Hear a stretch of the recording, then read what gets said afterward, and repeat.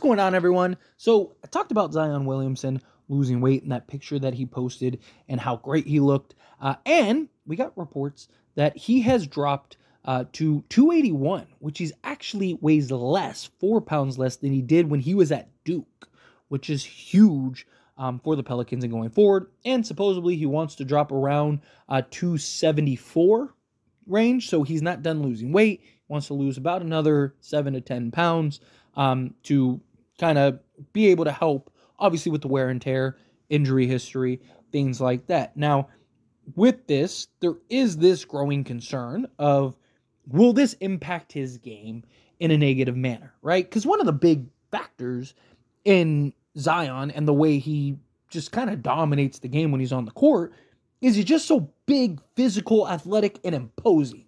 Right? He essentially just bullies his way to the rim, and there's not really much you can do because everyone that's his size isn't quick enough, agile enough, and athletic enough. And everybody that's, you know, smaller, just they don't have the size and the strength to, to match up with him. So he's kind of in this mismatch where kind of questions, you know, how will he be able to adjust to this newfound weight, um, which personally I think is great for him. Obviously for his health, but also for the basketball court uh, and him being able to kind of maneuver and operate on the court, right? I also think that this will kind of open up different skill sets for him, right? And I think also, I think he still will be as dominant and imposing. I think he'll still be physical think he still maintain that level of physicality, right? He's not going to be tiny, right? He's not going to be like 250. He's still going to be 270, 275. So he's still going to be a big boy out there banding with the big fellas, right? This, I just think, will make him a little more agile and be able to maneuver differently. And it'll allow him to kind of, I think, have more kind of versatility out there and more options rather than just I need to put my head down and just bully my way in, right? He'll still be able to do that, but I also think he'll be able to be a little more crafty and move a little better out there on the basketball court. Now, also, another big thing is he has to be able to maintain that level of weight. Because we've seen Zion lose some, not like this significant, right? He hasn't lost this kind of weight, but we've seen his weight kind of fluctuate and maintain that fluctuation fluctuation. There we go. Words are hard. Um, but you know, you you need to see him be able to stay around. You know, obviously a couple pounds here and there is not going to make a difference, right? Say he does drop to 274, if he goes up to like 277, I think it's fine. But if he goes from like 274 back up to, you know, 290 or something, then yeah, that's a big problem right? Like that now, it's like, yeah, like you're, you're just kind of starting from zero again. So he's going to have to continue to work hard and continue to just develop and grow his body. But I do think that this is something that can go a long way, particularly for his health, which is, you know, obviously been the biggest concern with him. Last year was the first year, in my opinion, and it was towards kind of the end of the season, um, where you saw that we've always seen Zion dominate, right? We've always seen him, I mean, from the jump, this guy was a an absolute monster. But particularly towards the end of the season and in that like Lakers uh where they were trying to get into the play and all that stuff like, like you saw Zion ex, you know kind of ascend to unstoppable and had that like I'm going to just win this game. And if he didn't get hurt, in all honesty, look, and I'm a Laker fan, Lakers might have been in trouble. Right? Zion was single handedly keeping the Pelicans in that game, and he was getting whatever he wanted, whenever he wanted. Lakers had no answer for him and just dominated that matchup. I mean, literally every possession, it was just Zion. Lakers knew it was coming, and they were helpless to stop it. And look, Zion's still only 24 years old.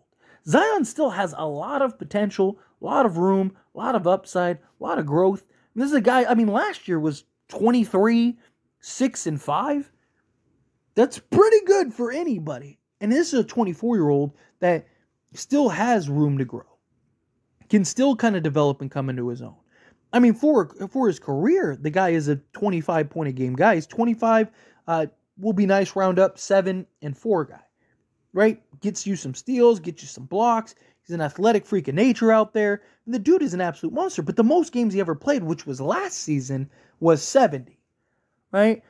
Which that's not bad, not bad at all. But you need to see him consistently do that because you look at his career, he played 24 games year one, 61 games year two, didn't play at all in 2021 2022, played 29 games in 2022 2023. It hasn't really been the best start to a career for Zion, but he's still incredibly young and has a lot of potential to grow.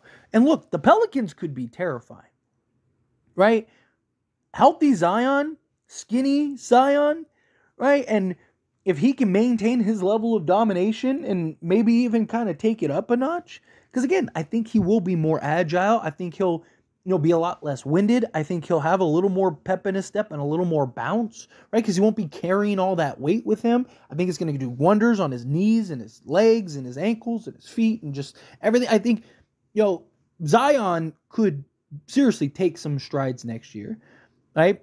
They just got Dejounte Murray, which they needed a playmaker desperately. They needed a real point guard desperately. And now they got it. CJ McCollum's still on the team. Brandon Ingram, we'll see how that works out, right? Because one, do they end up trading Brandon Ingram before the season begins? Two, if they don't, is there a level of like toxicity? Right? Does Brandon Ingram kind of become a distraction? Does he kind of really give full effort out there? Right?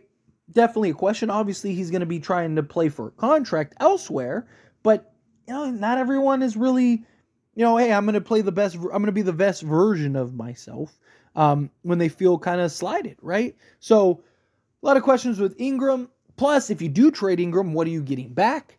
Right? If you're just essentially trading Brandon Ingram for um, Dejounte Murray, right? Like, I think that they're better. I just don't think that they're that much better, right? But, you know, you get a, a again, you have a healthy, skinny, ready to dominate Zion. Brandon Ingram's doing Brandon Ingram things. CJ McCollum, if he can still maintain and stay healthy, and then you add in Dejounte Murray, I still have concerns at the center position. That's a real problem, right? Like who's playing center for the Pelicans? But man, the Pelicans could be a force. Pelicans could be very tough this year. And this is a team that, look, they've had stretches the last few years where they've looked like one of the best teams in the league and have been the one seed and have been a legit playoff team, and people are great. And then Zion gets hurt, or Ingram gets hurt, or CJ McCollum is. It's just, can this team stay healthy? Right? Like, you look at this team on paper, front to back. You know, you look at like, you know, Herb Jones and Trey Murphy and all these guys. I mean, they are stacked. They have versatile wings, they have size, they have switchability, they have defense, they have shooting, they have everything you could want. I mean, this is a team that year in and year out we should be seriously talking about as a real contender. We should be having those conversations of like, are the Pelicans winning the championship this year? Right? Are the Pelicans a top five team in the league this year? And we don't. Why? Because, again, they've really underachieved. They've had moments, they've had stretches that, that they've looked brilliant and looked great, but they've also incredibly underachieved. And that's the problem and the concern. Can the Pelicans finally break through? Can the Pelicans finally stay healthy and see? Because it's hard to really gauge what can the Pelicans be when, you know, your your two stars can't stay healthy, you know, and then now, yeah, you got Dejounte Murray, but again, if it's Dejounte Murray and CJ McCollum out there and Ingram and Zion are hurt all season, you're not really better. right? You're not winning anything. You're not having that successful season. So they do. They need the best version of Zion as possible. And I really hope that he takes that mentality he had in those last few games at the end of the season before he got hurt again and translates that this year. Because I loved that version of Zion. That give me the ball, get out of the way. I'm going to go win us this game. And there's nothing that any of these people can do. I am the best player out here on this basketball court. I loved seeing that version of Zion. That's the version of Zion we need game in and game out, night in and night out. That just, I'm going to impose my will. I'm going to dictate this game. throw whoever you want at, at me. They ain't stopping me. Nothing. You guys can't do anything. I need that Zion. But I am. I'm very excited for this version of Zion. I'm really looking forward to this, and hopefully that that stays this way. But anyway, as always, this is a discussion. Pass a question on you. Let me know your thoughts and opinions down in the comments below. What do you think? How do you feel? What are your thoughts? Are you excited for this version of Zion? Um, do you think like, yeah, this version is going to be the best version of Zion? Do you have concerns that like, you know, hey, he's losing that weight, may end up being a different player? Is he going to still be as dominant? Right? Again, he's still a very big boy. Right? He's not.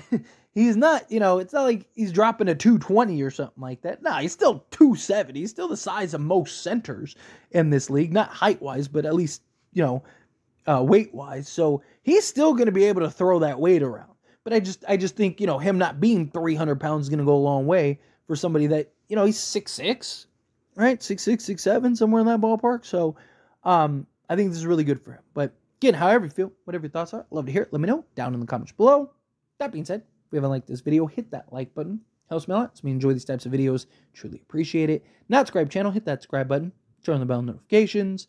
Appreciate y'all. See you in the next one. Thank you.